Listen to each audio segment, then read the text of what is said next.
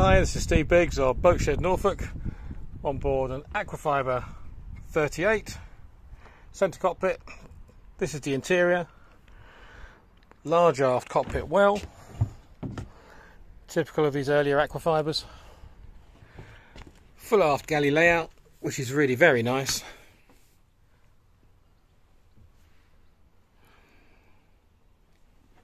Good upholstery. This area does convert to another cabin. Full size cooker, sink, good size fridge, Dometic fridge, television, DVD player. Well presented, very tidy little boat. Two heads on this boat. Smaller port side mounted heads and shower. Which services the galley when it's made up as a cabin and this double cabin?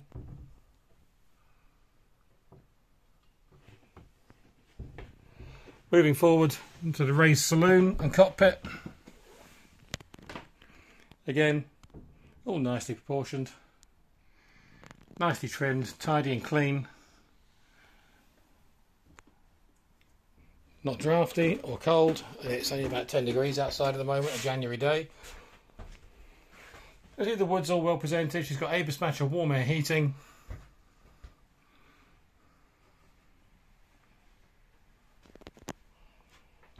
Wonderful running Nanni diesel under the floor. Starts and runs very well. You can see that in a different video.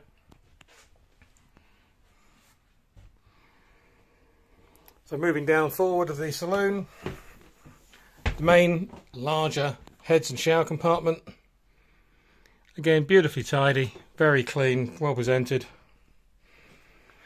To starboard, a single cabin. Good size single for a boat, really. And again, all well presented in good order. And the forward V berth.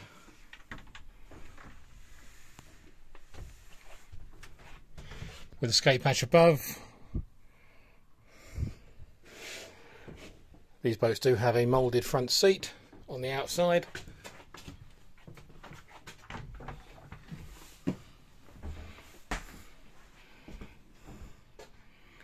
A comfortable seven berth boat, eight if you use the saloon up here. Warm air diesel heating, as I said. A very, very nice example of these popular cruisers. If you'd like further information on this Aquafibre 38 centre cockpit, please don't hesitate to contact me, Steve Biggs, at boatshednorfolk.com. Thanks for watching.